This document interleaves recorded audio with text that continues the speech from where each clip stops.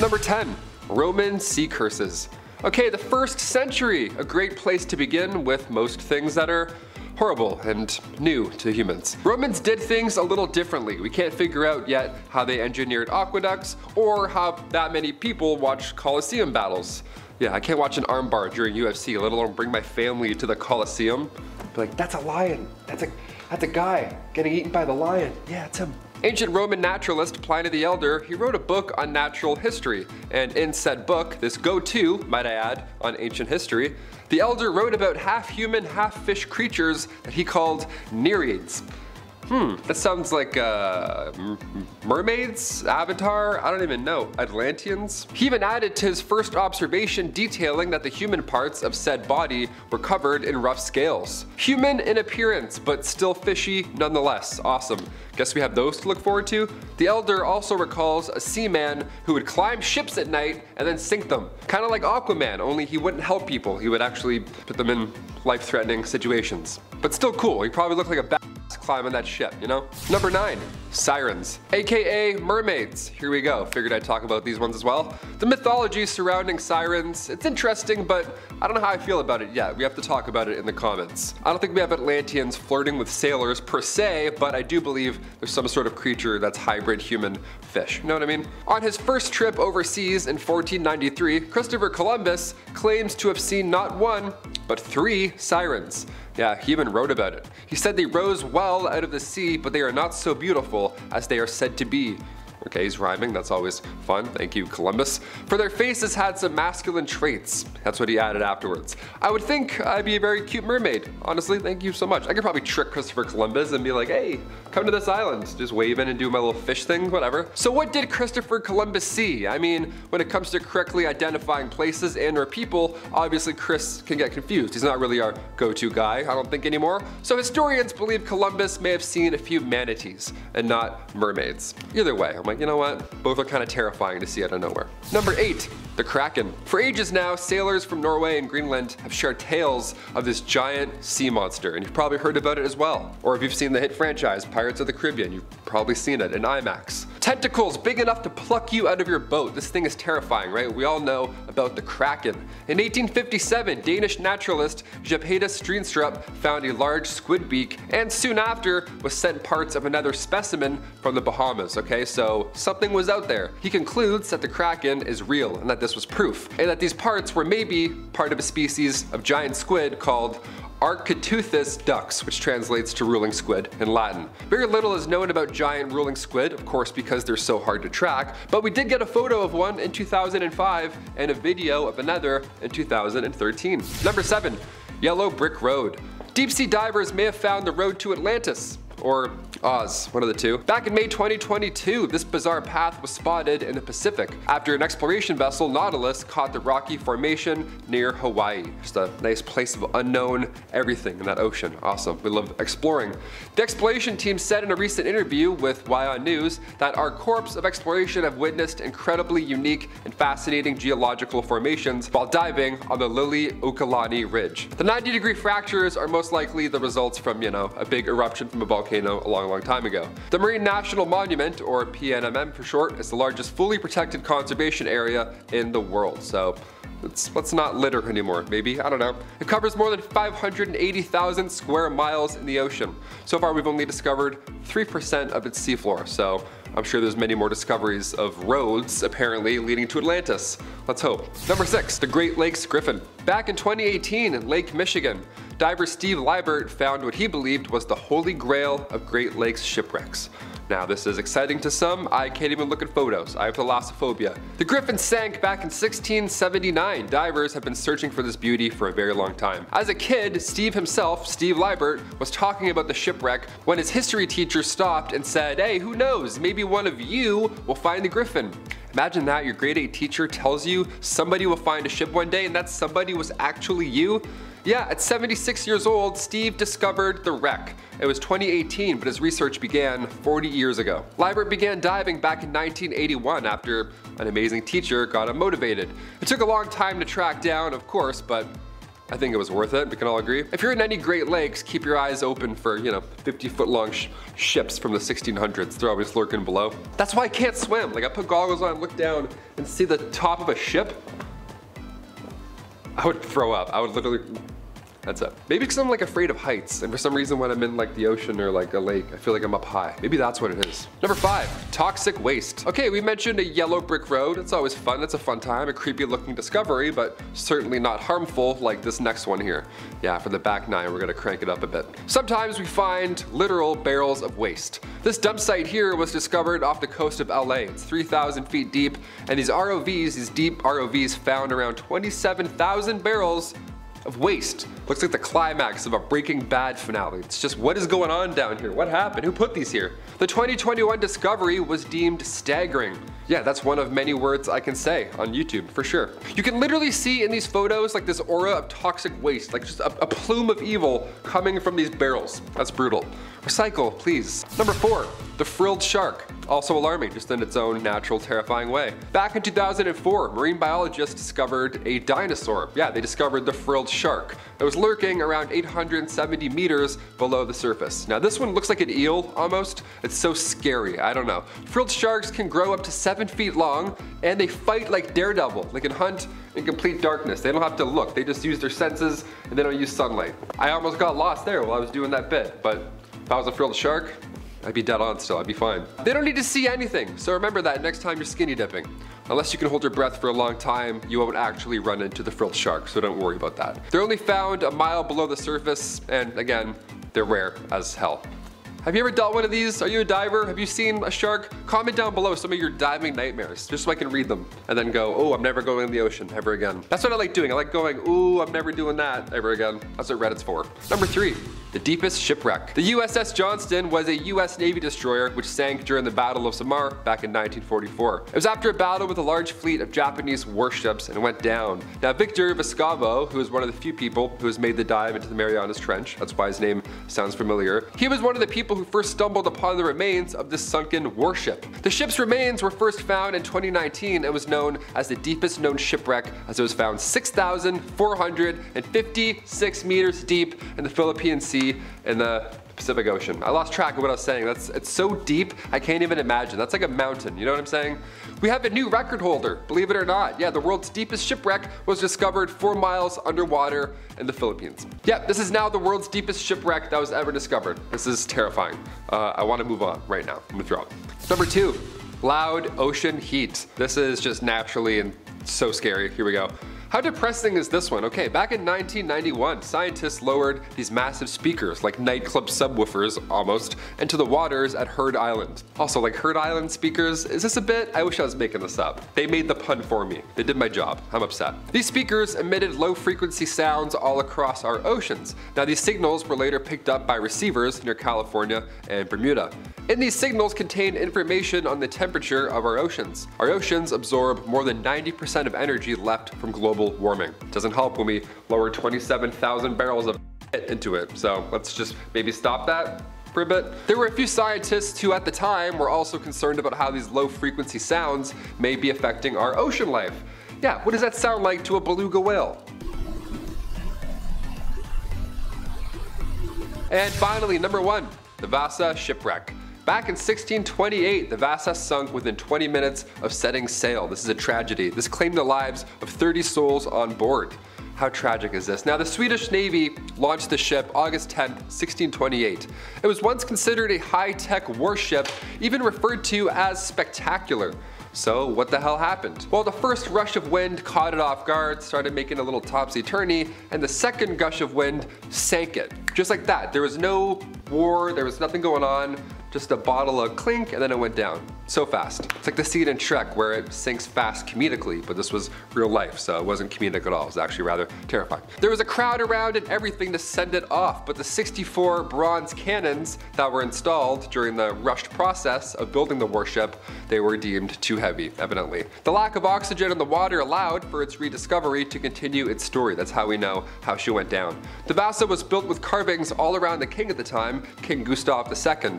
So when the wreck was discovered in 1961, 1961, 95% of the wood was still intact. It's deep, dark, and cold. Yeah, nothing really, uh, nothing affects it. Humans focusing too much on naval warfare rather on if the ship can actually stay afloat. That's a definitely a human problem. I can't tell if this is a curse or just humans being humans, but yeah, stop installing 64 bronze cannons. Number 10, mysterious kayak attack.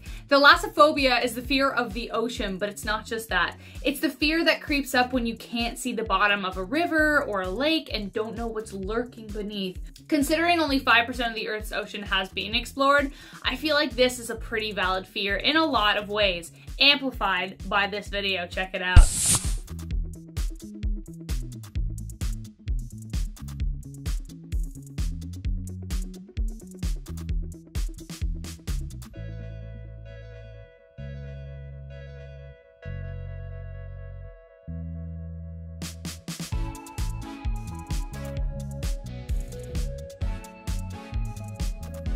Okay, so we don't actually get to see it, but I think that's what makes this video so terrifying. We can only assume that it was a shark, but we don't know for sure, and I can't even comprehend how terrifying it would be not being able to see how big or where this creature was, especially considering the ferocity with which whatever it was tried to attack him. This could have been one deadly encounter. Number nine, saving a nurse shark.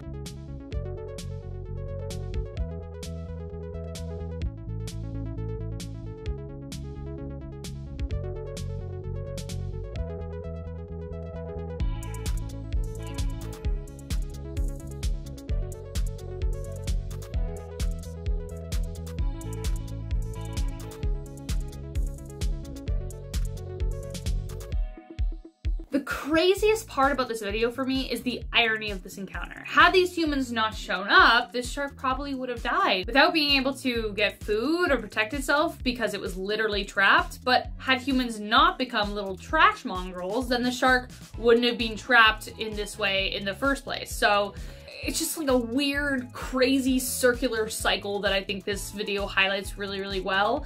And I, I hope those guys keep doing what they're doing, saving the ocean one piece of plastic at a time. Number eight, Otter on the Run. This next one is so surreal. I'll let the video speak for itself. Come on up, bud.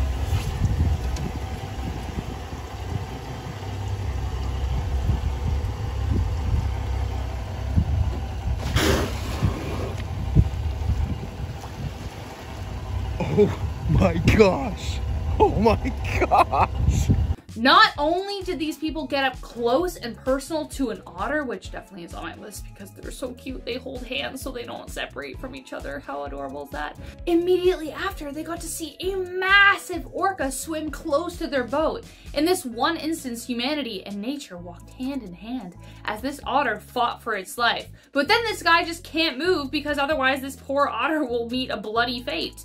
Does the boatman just let this poor guy succumb to survival of the fittest? Thankfully, he doesn't. The video kind of ends on a definite cliffhanger, but rest assured, the vessel's owner, John Dornella, eventually drove the boat to a safe distance, and then eventually the otter decided to jump ship pretty cool. But it turns out that the otter wasn't just fleeing from any orca, uh, no no. John discovered the orca's ID number and found out it was the largest in its pod. This guy did this otter a huge solid, that is for sure. Number seven, nurse shark. So fun fact, I actually swam with nurse sharks a while ago, one year on vacation, and it wasn't as dangerous as swimming with sharks sounds because nurse sharks are actually pretty docile. They just kind of chilled out at the bottom of the sand pit and the actual, the guides had to go down and like rustle them up. And they were like, no, leave me alone. I was sleeping, bro.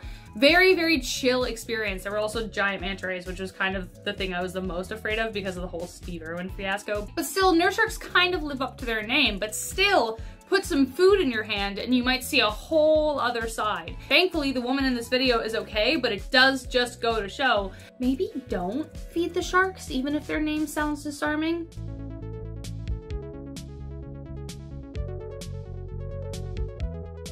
Number six, whale to the rescue.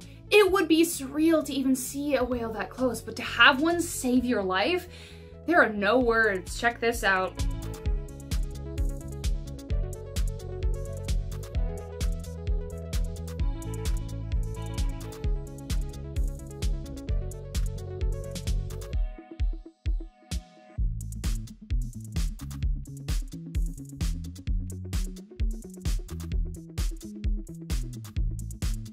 This is such a mystery to me. This is this is real life Flipper, except instead of Elijah Wood and a dolphin, it's a whale. Like a whale went, oh, that thing, whatever it is, it's in danger, and I'm gonna let it know. The like the innate kindness this animal was capable of. I just don't even know how to wrap my mind around this. It's not like I haven't even met humans that kind. That's not true. People are pretty great. It's not like we have an IQ test we can make for animals to take, but we know they have very strong instincts and we know that they've shown signs of emotional intelligence. So I don't know guys, whales might have just become my favorite animal. I just think it's kind of surreal. I mean, we know that um, the size of a brain doesn't necessarily correlate with like intelligence, but in terms of the ratio of brain size to body mass, it can. So who knows. But either way, this video is so surreal and I can't even believe it exists. Number five, baby beluga. Speaking of whales, beluga whales were the reason I wanted to go to places like Marineland so bad when I was younger, you know, before I realized that they actually weren't that great. They look like the perfect mix between a dolphin and a whale and they just look like they're always having a good time. They look smiling and curious and I just love them. This video is no exception. This man just kayaking, living his best life when a beautiful, perfect, and curious little beluga whale just comes up to visit and he even gets to pet him. Ah, my dreams realized. See, we don't even need places like Marineland to experience this kind of natural wonder. Though it looks like this little guy was camera shy because it just took his GoPro and then gave it back. Like, again, mind blowing because somehow this blue whale knew, oh, wait a minute. This guy, he wants this back. I'm gonna go get it. Like, I just, I can't even. This is insane. What do you guys think of that? Wow. Number four, close encounter of the whale kind. I held my breath when I first saw this clip. A warning to anyone going scuba diving in an ocean. If you see a flurry of fish just bolting it to the surface, get out of the way. These divers came so close to getting too close to the inside of a whale. Something that will come up later. In hint.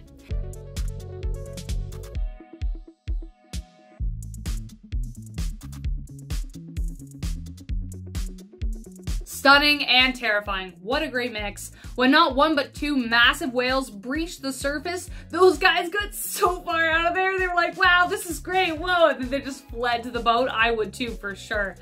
Ugh creepy, creepy, creepy, but beautiful at the same time. Like, I don't even know what that would be like to experience. Anyways, guys, before we get to our top three, remember to hit that like button and subscribe to stay a part of our hive. Uh, we appreciate all the help that we can get, and we appreciate any and all love you show us, so thank you so much. Number three, an octopus lending a hand. Can we call this story a love story? Ah, uh, I'm not sure. I feel like that's treading dangerous waters. As I mentioned earlier, we know humans have barely, barely scratched the surface when it comes to exploring the ocean, but that means that a lot of creatures still haven't met us. I mean, chances are, sadly, they've met our garbage before they've seen us. But this interaction between two curious beings just goes to show we aren't the only ones asking questions.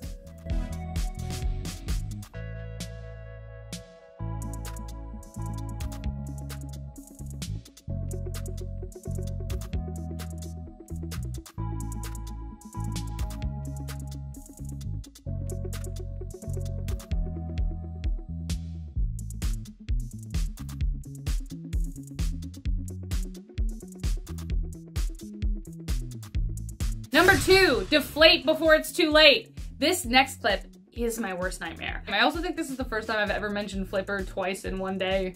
Well, at least in the last five years. I can't remember the last time I saw that movie. But there is that scene where he's just floating in a raft and it gets attacked by a massive shark and just starts deflating. Once you watch this clip, you can understand why it immediately made me flash back to that moment.